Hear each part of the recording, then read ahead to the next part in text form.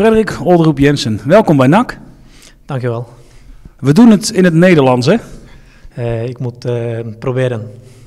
Want hoe komt het dat jij Nederlands in, in ieder geval verstaat, maar ook kan spreken?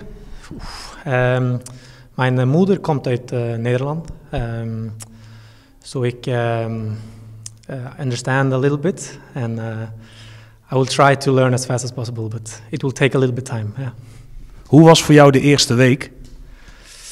It has been a good week. Uh, good to um, yeah to to meet all the players, the staff, and the people around the club. So um, looking forward to the game against uh, Helmond and to um, to get going. Yeah.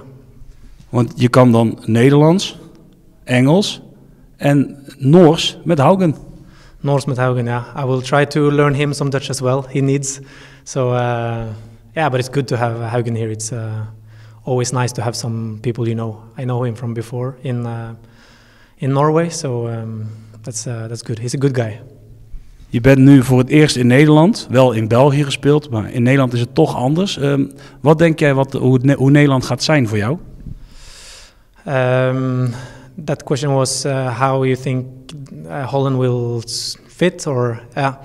No, I, I think uh, Holland will fit me uh, good. I think Holland is known also to be uh, a nation who likes to have the ball and to use the ball. So, and that's also what I like to do. So, um, yeah, I'm looking forward to learn uh, the football here better and to hopefully make my mark. Morgen gaan we naar Helmond. Ga jij morgen ook mee naar Helmond? Oh, the last uh, sentence I don't, didn't understand. Are you traveling with us to Helmond tomorrow? Yeah, I think um, I will travel with the team. I'm, uh, as far as I know, I'm in the selection. In the selection, so um, and we will see if I get to play or not. But uh, I'm uh, ready to to join the team. Yeah. Dan zeggen we tot morgen. Tot morgen, jongen.